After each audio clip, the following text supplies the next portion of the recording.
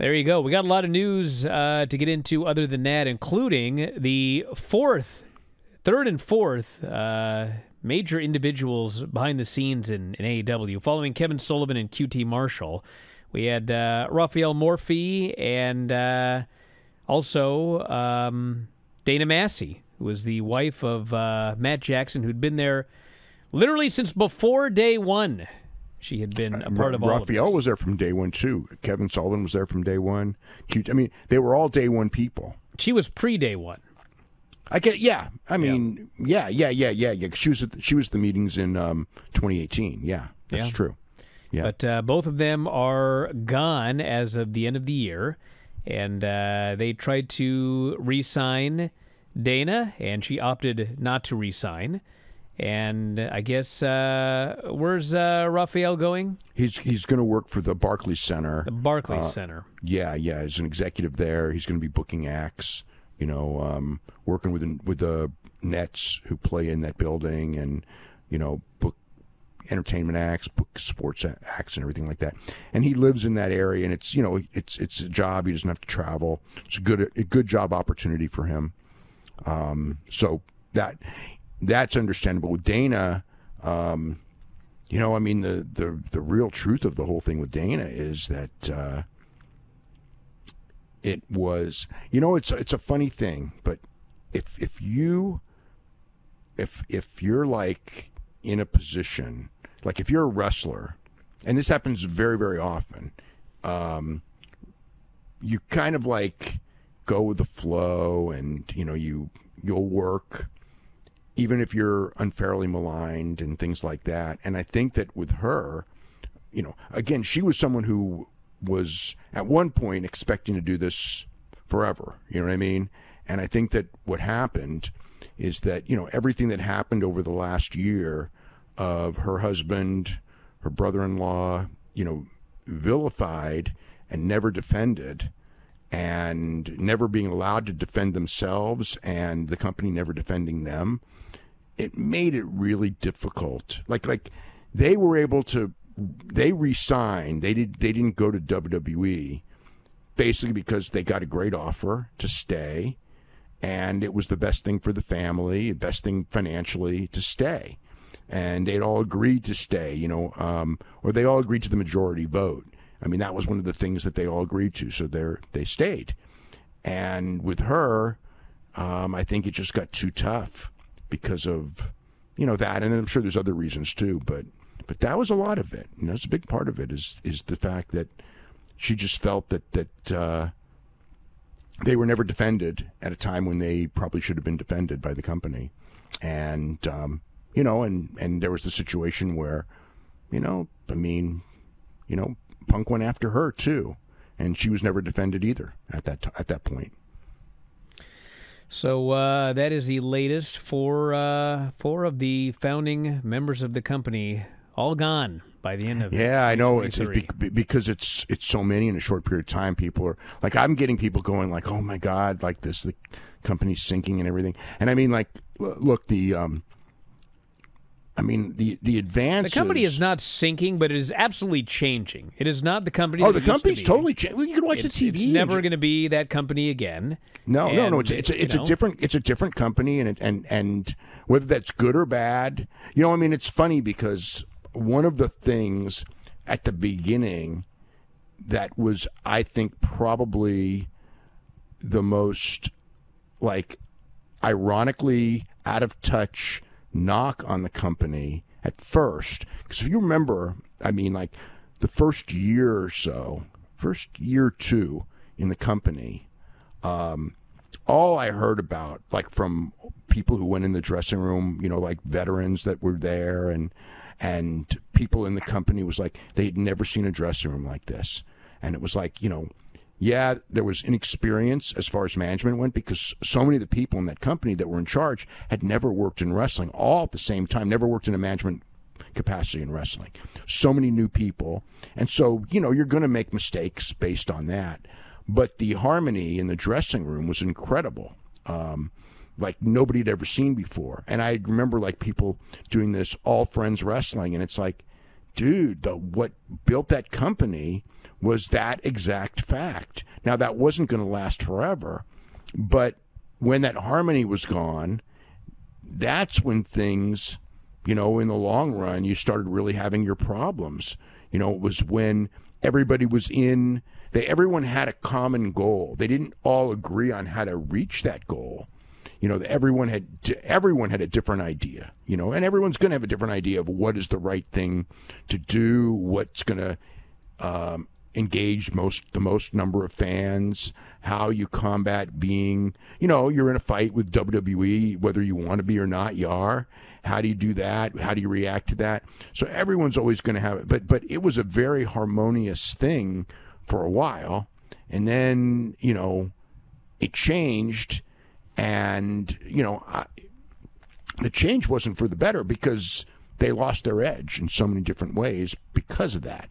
Um, and now, you know, there's this now, you know, their biggest problem aside, I mean, their, their, number one problem is that WWE got hot. I mean, like as far as like when, when they first had their, um, big success, WWE, you know, Vince McMahon was running it. A lot of people in WWE wanted out. Um, it was an alternative. A lot of fans weren't engaged by WWE, but they were fans. And when WWE, when when Vince left, I mean, I knew it when Vince left. I told people, I go like, this is when it's all going to change because this is July when he left. I know he came back and everything because Vince was a real negative in, in WWE. And with Levesque, who was, you know, a lot more modern, a lot more open minded when it comes to talent, uh, not as much behind the times or anything like that, it was going to make it very, very difficult. When number one is hot, number two is a very difficult position to be in. Obviously, there were also, you know, a lot of things, you know, with that happened, but a lot of it was just a perception. And then in time, as attendance dwindled, you know, it just the perception got worse and worse. And I mean, the thing that is interesting is you know, like the advances for these shows are not good. But in the end, you know, one of the things that's been, you know, the the, the actual attendance at these shows, it's not great. But for a number two promotion, it's not bad either. And obviously, you know, pay per view is, uh, you know, the pay per view numbers have been solid, actually very good, almost the entire run. Um, but yeah, there's this, there's they're they're, they're facing a perception and a momentum problem, um, far more than like a product problem because you know if you watch the TV, you know obviously the ma- you get a lot of great matches on the show, and the last couple weeks in particular have been filled with great matches. Uh, but you know, I mean, in, in some ways, do they do they make the matches mean a lot? Do they uh, do the things to make people into big stars?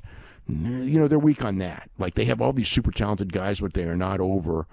Uh, they're, they're not over as drawing cards or anything like that. And you know, like just on the um, the Rampage show on Friday. I mean, they again they went with Vikingo and um, uh, what was it, Black Taurus.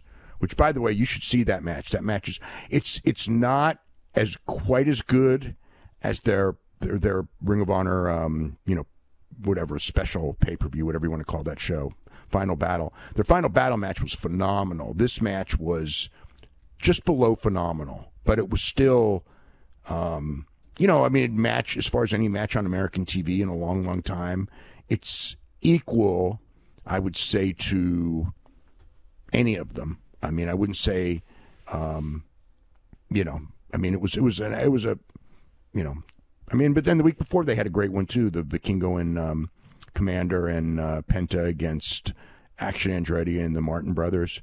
So I mean, they're having these great matches, but I mean, as far as in the main event position, you have a bunch of guys who are not over as main eventers being put in television main events, and then they don't draw like a main event should because they're not over as main eventers. They're not built as main eventers. Taurus has never been on um, AEW television. I believe that was his debut and he's coming off of TNA where they did nothing with him whatsoever. So yeah, he's got a lot of indie cred, people who go to those shows, but that's not a TV ratings audience, you know. So it's like you, I'm watching this thing, and it's like this match is phenomenal, but it's it's again, it's not a television main event, and you have to understand that um, if main events aren't main events, you don't draw, and that's you know no matter you know they're they're booking a lot of matches that are phenomenal matches, just phenomenal, but they're not main event matches and they're put in main event positions. If they were, you know, as opening matches or prelim matches, they'd be they'd be fantastic, but sometimes they're put in the main event spot. And um, you know, they they have that the you know, the tournament the matches in the tournament are you know, I mean, I don't think there's been a bad one. Um, except the one the four minute match was not a great one because it was a four minute match. Every other tournament match has been either very good or excellent, and that's been the bulk of the TV. So the TV's been really good, but um, you know, I mean, some of the some of the TV. Um, I mean, the collision numbers are, are, are, are, considering the competition. Collision's actually done pretty well the last couple of weeks, and Dynamite's been hit and miss. You know, Wednesday's Dynamite was a low rating, um, and with a big lead in too you know, this was the first week that uh, Big Bang Theory almost beat them. Big Bang Theory led in with a .25. They followed with a .26. It's never been that close. I mean, there was most, you know, they had gotten to the point where um, AEW was close to double Big Bang Theory not that long ago. Like, I mean, when I talk about like even a month or two, and now they're almost neck and neck. So, um, you know, whatever that means, you know, it's it's just it's just a fact. Hey, if you love this clip, have I got a deal for you? WrestlingObserver.com. Do you have a commute? Do you work out at the gym? Do you like listening to audio on your headphones or your earbuds or whatever the kids use today? Well, WrestlingObserver.com will give you all the audio you'll ever need in your life over 15,000 audio shows. Every audio show that we have ever done, dating back to 2005, is available for subscribers at WrestlingObserver.com. Every time a new show comes out, you can podcast it directly to your phone. If you have a commute, as noted, if you go to the gym, if you like to lift weights and listen to Granny review soap operas, well, WrestlingObserver.com gets you full access to all of these shows and all of these archives. You can go back and listen to TNA reviews from 2010. You can go back and listen to reviews of every WWE pay per view, every big story that's ever happened in wrestling. You can get access to that at WrestlingObserver.com. Plus, Full access to the Wrestling Observer newsletter every week. 40,000 words of news and information in pro wrestling. Why get all your scoops off Reddit, which aren't even accurate most of the time? Go right to the source, the Wrestling Observer newsletter. You also get Observer archives dating back to 1990. So check it out today. Thousands of issues of the Wrestling Observer newsletter, tens of thousands of hours of audio all for $12.99 per month or as low as $9.99 if you sign up for a year. You'll never, you'll never run out of audio if you subscribe to WrestlingObserver.com. So head up there, check it out today, and I'll talk to you again after a while.